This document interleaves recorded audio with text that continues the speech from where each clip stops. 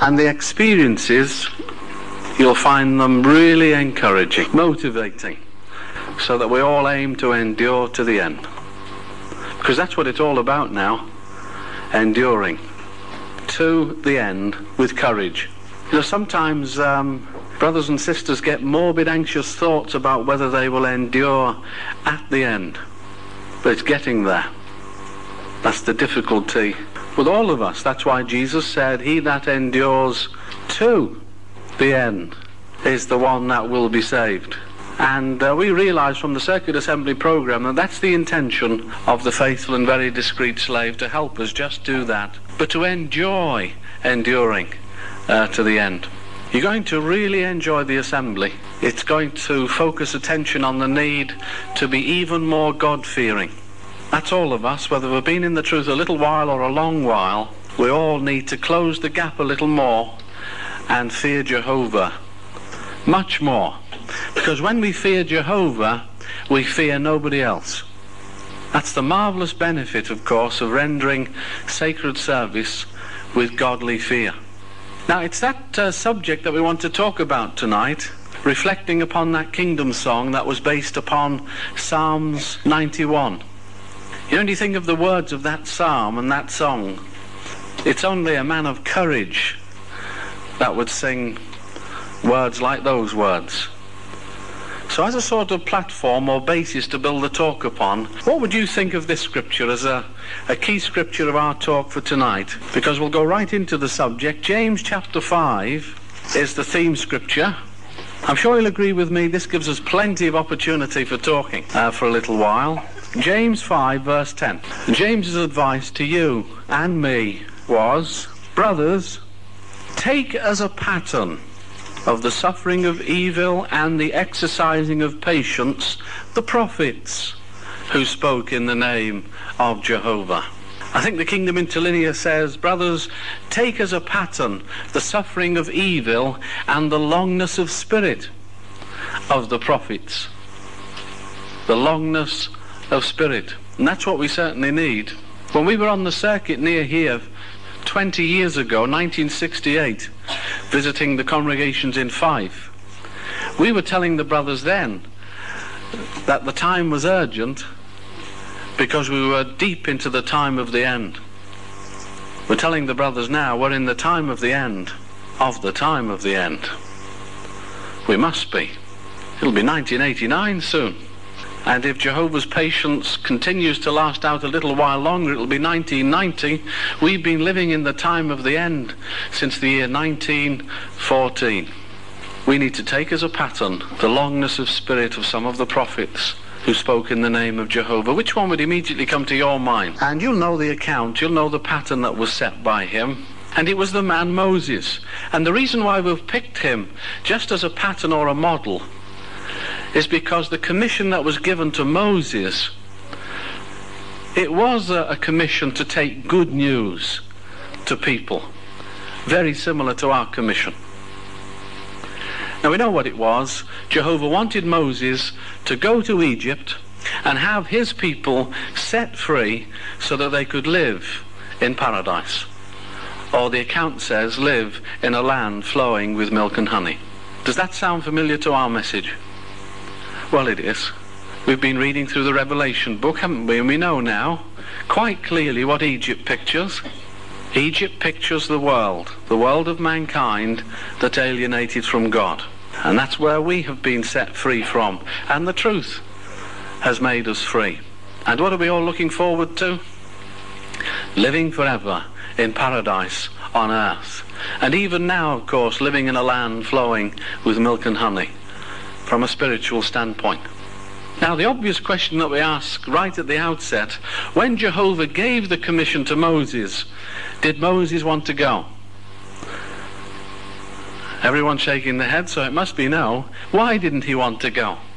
Because what we have to do is to take as a pattern this prophet who spoke in the name of Jehovah. Would like to shout out? So he couldn't speak. Now that's the immediate uh, thought that comes to mind. Poor Moses, he couldn't put two words together. We would say, don't you believe it? We know he could. because eventually he was used by Jehovah and he did inspire the confidence of three million Hebrew brothers of his and their families and brought them out of Egypt into a land flowing with milk and honey. We also know that the book of Deuteronomy, that was written by who? Who wrote the book of Deuteronomy? Who was it? You tell us. Who do you think it was? Well, you can't be wrong if you say Moses because he's the one we're talking about. It was Moses, and it's described as four major speeches of Moses. I wonder why he didn't want to go. Because notice what it says in the book of Acts. Uh, in chapter 7, and bear in mind now that Stephen is about to be stoned to death, and he was the only one that was inspired to tell us this about Moses.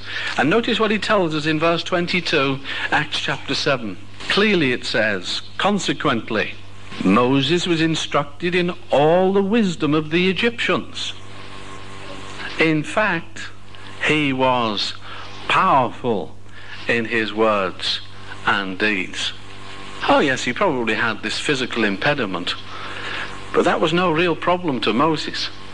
And if he was raised in the household of Pharaoh, then you can be sure he was instructed in all of the wisdom of uh, the pharaohs. He was raised in Egypt as a prince. And there's no doubt about it. As Josephus described Moses, if that was his background, he must have been a powerful orator. He must have had a way with words. So it would be a very good exercise just to take a look very briefly at the pattern uh, that was set by the experience of Moses in the book of Exodus. So should we do that? I know we've read through it many, many times before, but let's see if we could get even more from our reading uh, from tonight's discussion. Exodus chapter 2 is where we could take up the experience. And please take note that when we read verse 11 and verse 12, Moses at this stage was a prince in Egypt and his age was 40. 40 years of age. That can be cross-referred to Acts chapter 7 and it will give you that detail. Now what was he like at the age of 40? It says in verse 11, Now it came about in those days, as Moses was becoming strong, that he went out to his brothers that he might look at the burdens that they were bearing. And he caught sight of a certain Egyptian striking a certain Hebrew of his brothers. So he turned this way and that and saw there was nobody in sight. Then he struck the Egyptian down and hid him in the sand. What sort of a man was Moses at the age of 40 when he was becoming strong? Would you say that that experience uh, seems to depict a man that could well be described in Numbers, uh, chapter 12, is it, as the meekest man in all the earth? Well, was he meek? Brother, please. He seems to come across as a bit impetuous at this stage. Very much so. Uh, there was no meekness in Moses at the age of 40. Moses raised uh, with the household of Pharaoh, he was the sort of man that would rely heavily upon the arm of flesh before he would rely on anyone else. He was a belligerent, warlike person. He was aggressive. But Jehovah knew that he had the potential to be the meekest man in all the earth. And we know, looking back at the man, that he was that before he led God's people out of Egypt. He had many natural talents and natural abilities. He was a prince in Egypt. Uh, one ability he didn't seem to have was to be able to see straight, because when he looked this way and that and saw there was nobody in sight, well, there was somebody in sight, and they saw him as well. And when he came back to that place the following day, they confronted him with the murder. And they told him what they had seen. Moses fled from Egypt. And the Bible account indicates that he left Egypt. He, went, he must have gone across the Sinai Peninsula and began to live in a place called Midian. And he married a woman in Midian. In fact, when we read chapter 3, just over the page, in verse 1, it says, Moses became a shepherd of the flock of Jethro. Why would I be correct in saying that although he left as a prince, he arrived there and continued to be something of a pauper? Why would we say that? Why would we say that his lifestyle would be that of a pauper, a lowly person, if he became a shepherd of the flock of Jethro? Would you like to tell us, brother? Because the shepherd lived out with his flock. He didn't, as it were, live in the, the, the, big house and just wonder how they were getting on. He was out there looking after them at night, sleeping beside them or, and watering them and feeding them, taking them around. So he was living a very poor life. Yes. To an Egyptian especially. Because when Joseph lived in Egypt, his brothers, they were herders of sheep. And Joseph warned them when they were in Egypt to be very careful about making that known. He said in Genesis 46, just as a cross reference, Genesis 46 and verse 30, a herder of sheep is a detestable thing in Egypt. They were viewed with disdain. You know, anyone could be a shepherd. I mean, you've hit rock bottom when you become a shepherd. Although what lovely qualities would Moses learn living under the stars at night? He'd learn a lesson in man's littleness. I mean, one quality that seems to be outstanding with sheep, and certainly little lambs, is that quality of meekness and being willing, uh, willing to be directed by someone. So he must have learned all of those qualities as a shepherd. And he'd learned them for many, many years because when we get to chapter 3 and verse 1, according to the cross references, Moses now is at the age of 80.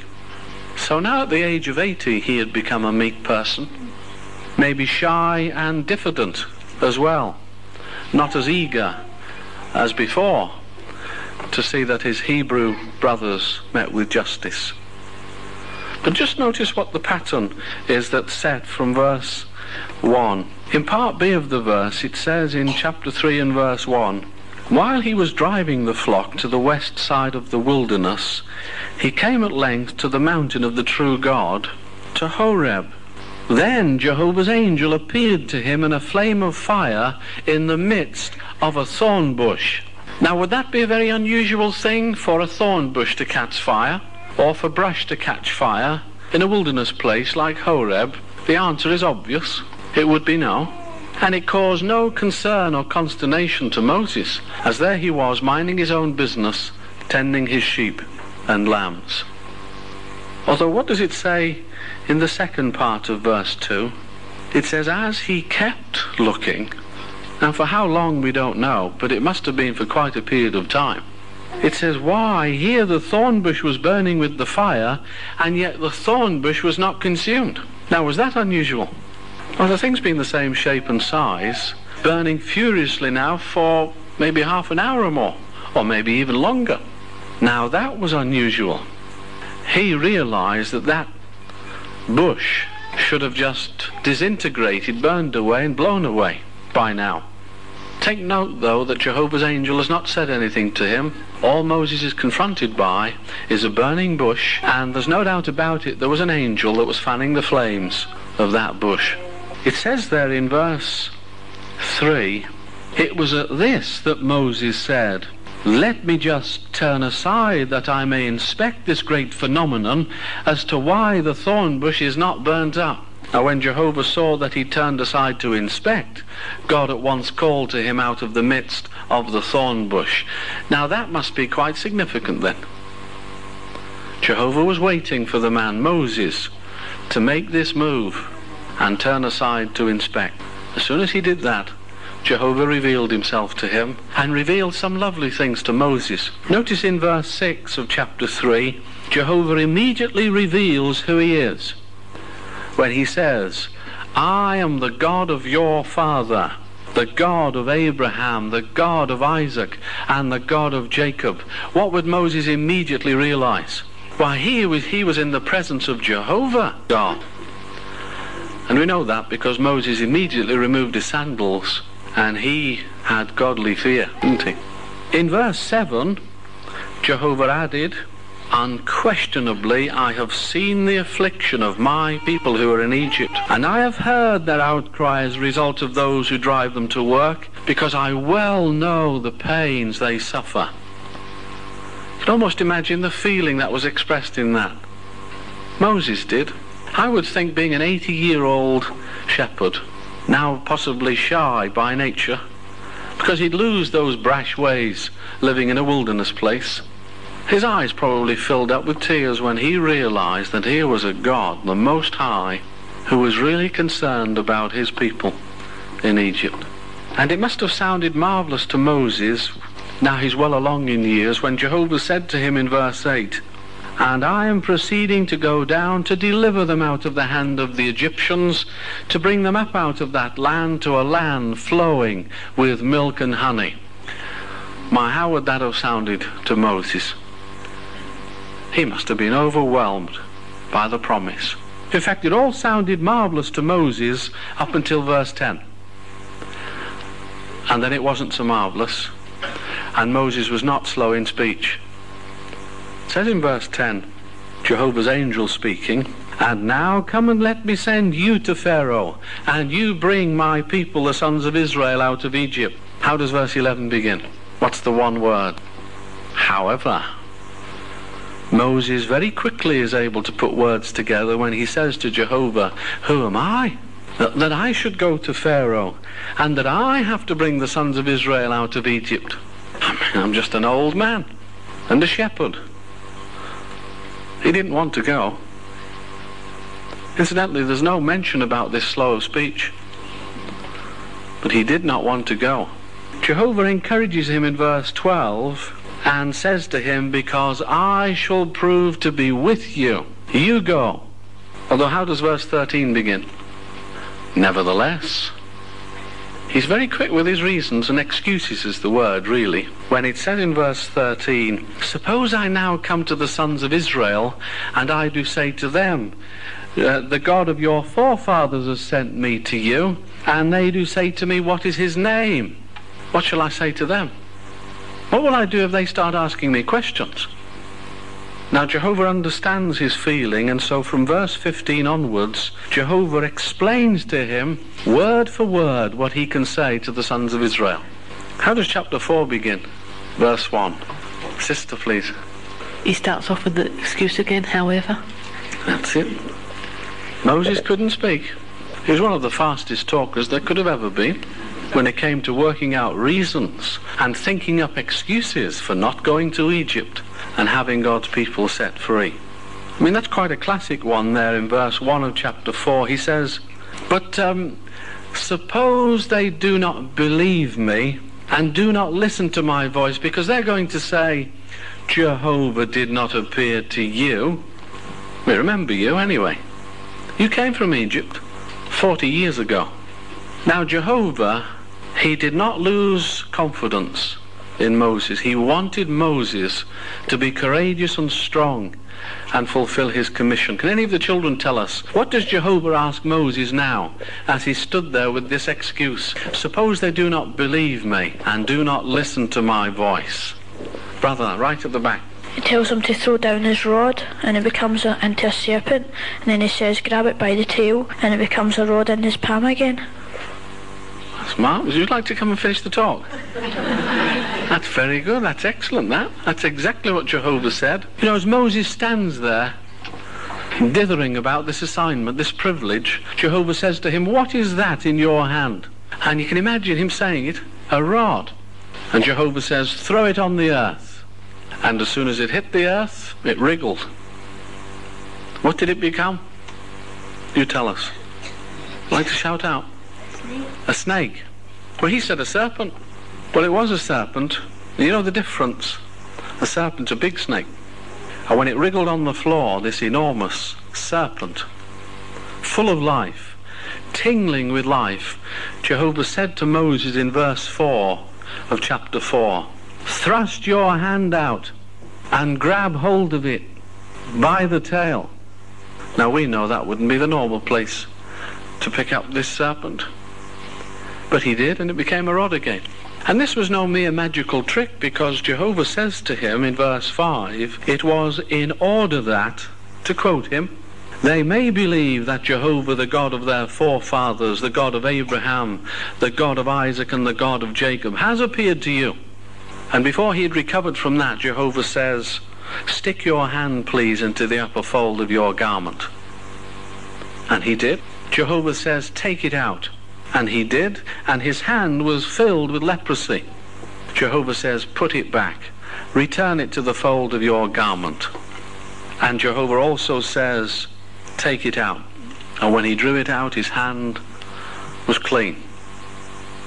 At first it was filled with leprosy, unclean, because that's what it's a symbol of, and next it was clean. And there was a reason for that, according to verse 8. Jehovah said, If they will not believe you and will not listen to the voice of the first sign, then they'll certainly believe the voice of the later sign. And then Jehovah gave him a third sign. It was only at that point, it says in verse 10, that Moses came out with his best, one of all, and stuttered every word of it when he said, Excuse me, Jehovah, but I'm not a fluent speaker. Couldn't speak properly. Rendered speechless. Not Moses.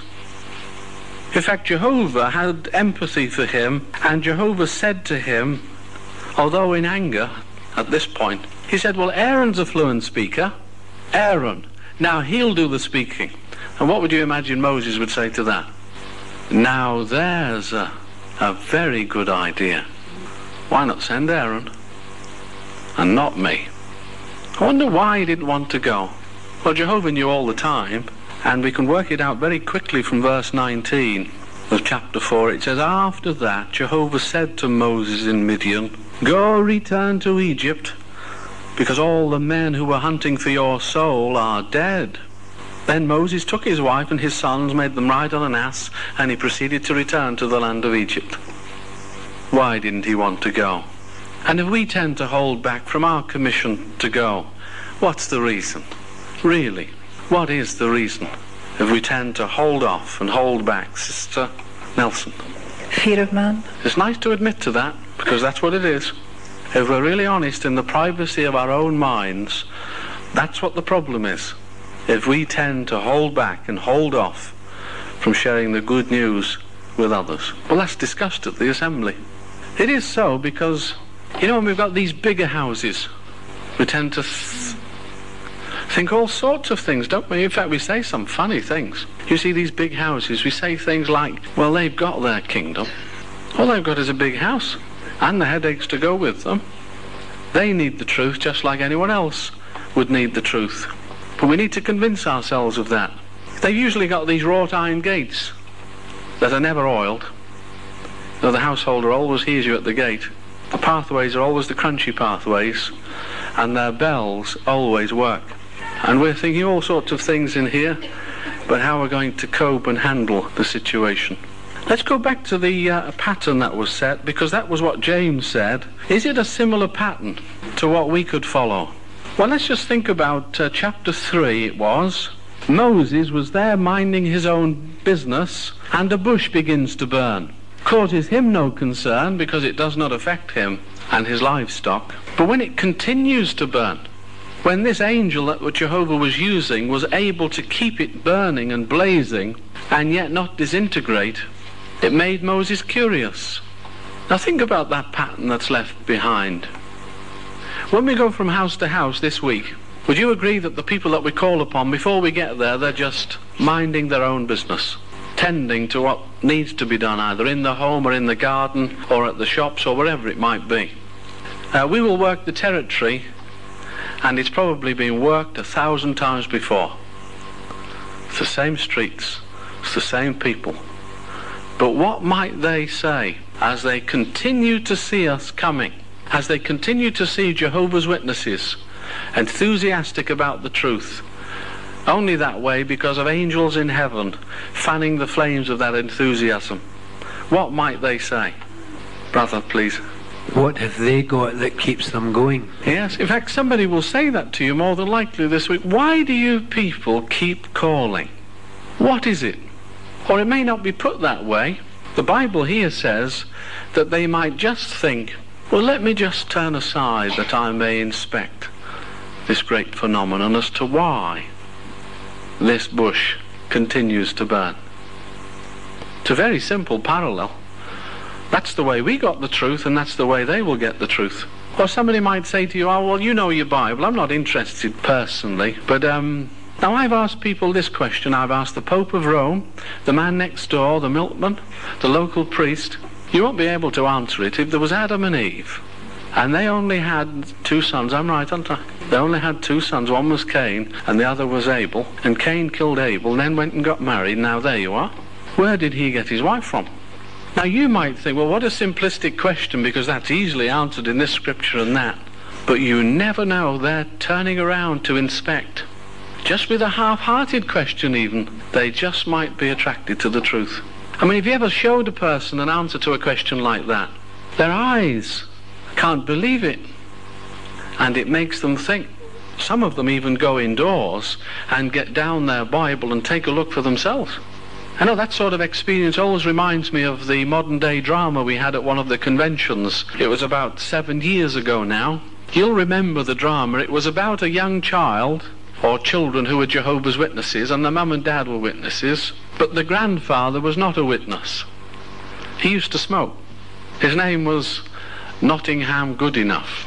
Well, that was what it said in the script. The young child showed the grandfather God's name in Psalms 83 and verse 18, and he was impressed.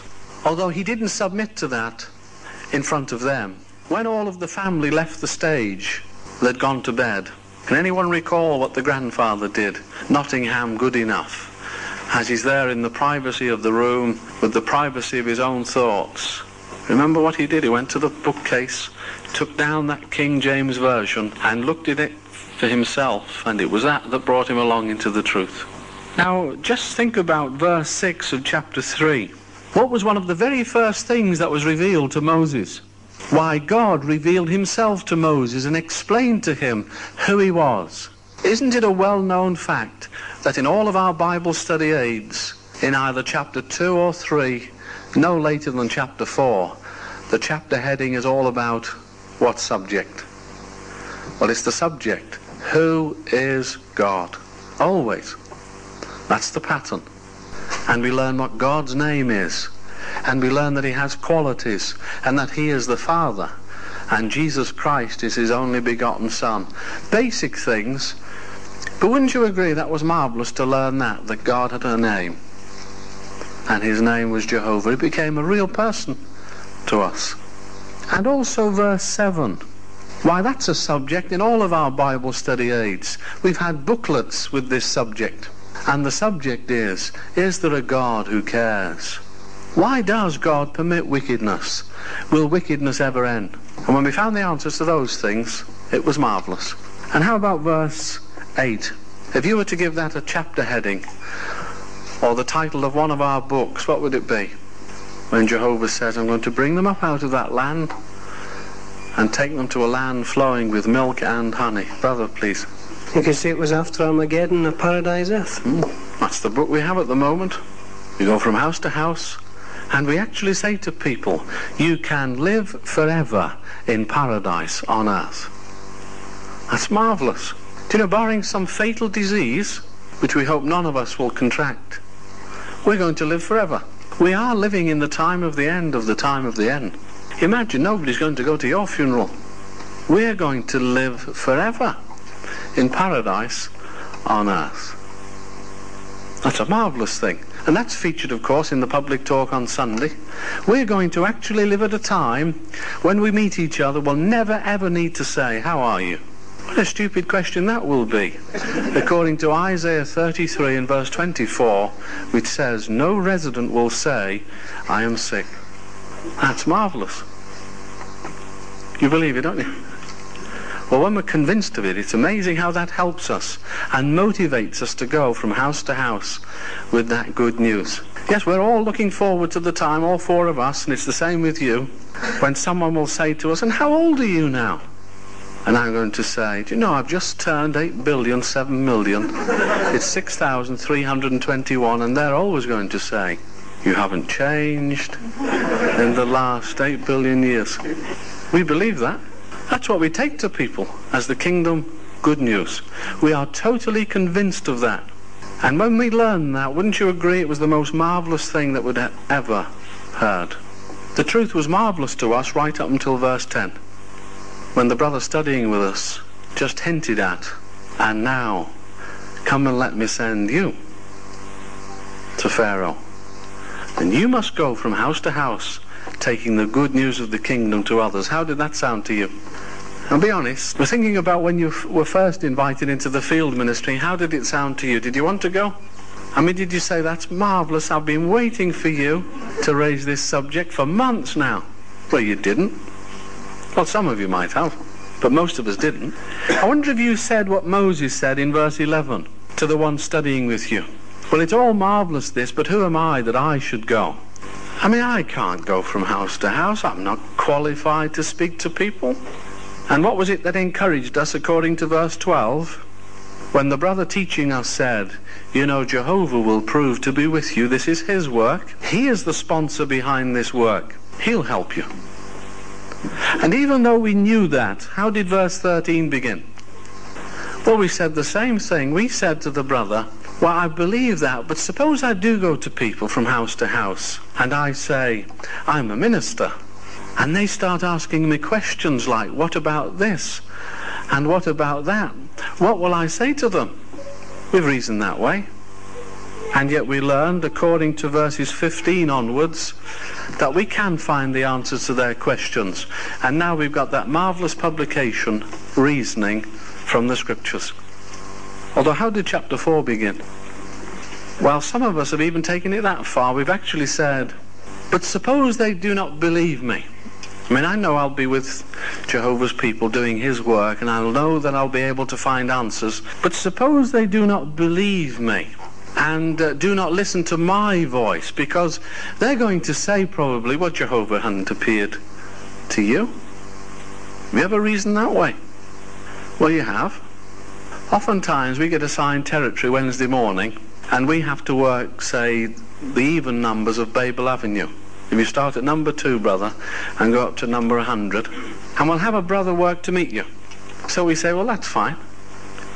But oftentimes this happens. After about 30 minutes, the brother working to meet, uh, to meet us comes down to us, and he says, I wonder if you would call at 42. I tell you why. He knows me. Well, I used to work with him, actually. And I think he'll accept it better from you. Have you said that? Well, what are we really saying? We're saying, well, suppose they don't believe me. Because they're not going to listen to my voice. They're going to say, you're not a minister. I've, I honestly must admit that I've exerted myself far more vigorously with total strangers than some of my own relatives, in-laws I mean, because my nearest relatives are in the truth. And it must be like that with some of you, isn't it? It might be just me then. but it happens every time I go back home. Um, one of my brother-in-laws, he's not in the truth. He always says, they always ask you the same thing, don't you? What are you doing now? I say, I'm still a minister. And he still says, you're not a minister. I say, oh yes, I'm a minister. When did you become a minister then? And I just have to say, well, actually, it was the 17th of March, 1957. Now, ah, well, what happened then, then? Well, I was baptised as a minister. Where? Well, it was a rugby ground, actually. and they do just what you're doing. Because to them it's not real. You're not adequately qualified as a minister. God didn't appear to you, but he did appear to us. That's how we got the truth. And Jehovah is um, really proud of every one of his ministers because he has approved us all after baptism. He's just as proud of you if you're a dedicated baptized minister as he was of his own son. Remember when Jesus was baptized in the Jordan River? A river that Naaman certainly wouldn't bathe in a thousand years before. When Jesus came up out of the water, all of his hair bedraggled and water dripping off his nose and his face and a little bit of plant life to the side of his face, what was Jehovah moved to do for the very first time? And this is a key point in your latest Watchtower which changes a lot of things when you read it. Brother, please. All, but uh, that was the occasion when Jehovah spoke in the, in the hearing of men. They heard the, the, the voice saying, This is my son, I have approved him. He'd never done that before. You can almost sense the pride in Jehovah's voice. For all to he- hear, he said, This is my boy. And he was well pleased and he approved him as a minister. And it's the same with all of you that are dedicated baptized ministers. So never ever get the feeling, well, suppose they won't believe me or listen to my voice. Of course they will. Now, Jehovah understands that we do reason that way, So Jehovah says to you exactly what he said to Moses. If we feel inadequate, Jehovah will say to us, What is that in your hand? And what would you say? Well, we know what Moses said, Sister Nelson. A Bible in your hand. Have you ever looked up the word rod in the aid book?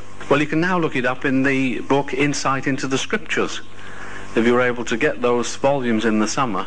And look under the heading of rod. And one of the subheadings, it says, a rod was a symbol of authority and commission from God.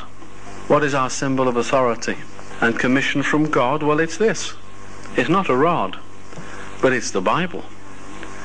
And when we go from house to house, if we use the Bible and bring it to life, they will believe that we're God's ministers. Uh, the reason why we said that was because Moses, when he threw the rod on the ground, it wriggled and tingled full of life. And when he picked it up by the tail, it was a serpent until it turned into a rod. Now, what's our assignment? Well, we have to bring the Bible to life in our hand. And if we want the Bible to exert power and be sharper than a two-edged sword, Hebrews 4 and verse 12 says, it will only happen when God's word is alive in our hand. Now, of course, that's something we could all be working on. But you can be sure if you're enthusiastic in your use of the Bible, they'll believe you. They'll recognize you as a minister. They may not submit to you at the door, some of them, but they'll go indoors and admit to themselves, he had something there. And that's sowing kingdom seed, isn't it? I always at this point like to recall that lovely experience that's been related many, many times of the new publisher that was going from house to house with his circuit overseer. Now this brother was so inadequate and so new that no matter what they asked him, or what viewpoint or objection they raised, they just got the one scripture. Well, he could only find the one, and that was Matthew 24, verse 14. He only had the one marker to find it anyway. So no matter what they asked, that's what they were going to get. So he went to a house with his circuit overseer and introduced himself and immediately went into Matthew 24 and verse 14. Can you see what it says there? It says, And this good news of the kingdom will be preached in all the inhabited earth for a witness, and then the end will come. The man shook his head and said, I don't believe it. In fact, I don't really believe in God. My whole life has been filled with tragedy, bad news. And this morning, before you've called, I've again received some bad news. It's not for me, not the Bible. The publisher was undeterred and said, now look, you said you'd, you'd watch it with me. See what the scripture says. It says, and this good news is what we're preaching. Now, the word gospel means good news. That's why it comes out of one of the gospels, Matthew 24 and verse 14. Now, I'll explain to you why it's good news. And he just bubbled over about the good news of the kingdom. And his travelling overseer said that the man warmed to him Although he did say, well, it sounds marvellous and you'll probably get a world like that, but not with the government in this country. In fact, when you think of the governments worldwide, you never get a world like that. And what did the publisher say? Look, would you just please read it with me again? Just again, the first part. It says, this good news of the kingdom is what we're preaching.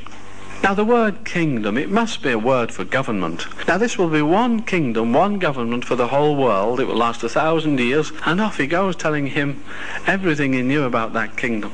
Would you say he was bringing the Bible to life in his hand? Well, he certainly was. In fact, the man became convinced. He says, well, it would be possible then with a perfect king and one world, one government. You won't get that in my lifetime. You're not watching the scripture.